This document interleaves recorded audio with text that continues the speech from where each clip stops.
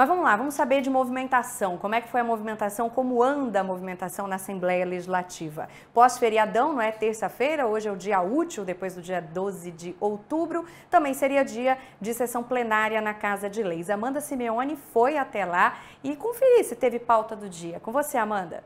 Oi Camila, boa tarde para você, boa tarde para quem acompanha a gente no Jornal da Tarde. Bom, eu estou aqui na Assembleia Legislativa e vou te dar um panorama da agenda aqui no Parlamento durante essa semana. Que na verdade né, não vai ser, vai ser bem parado por aqui.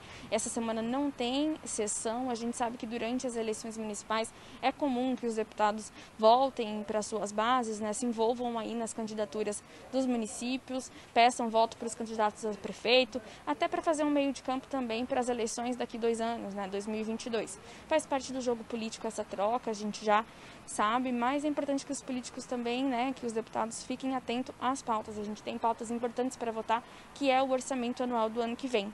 O presidente Eduardo Botelho avisou na semana passada que não teria expediente durante essa semana, mas que qualquer projeto de urgência faria uma convocação aos deputados para que retornassem, né, ou então que fizessem parte pela sessão remota. Então, para recapitular, não temos sessão programada para essa semana. Na semana passada também foi avisado que o expediente dos servidores da Assembleia seria reduzido de 8 para as 13 horas em razão do calorão que tem feito aqui nos últimos dias, né? E também a manutenção dos ares condicionados aqui da casa. Bom, é isso. Tudo parado por aqui, Camila.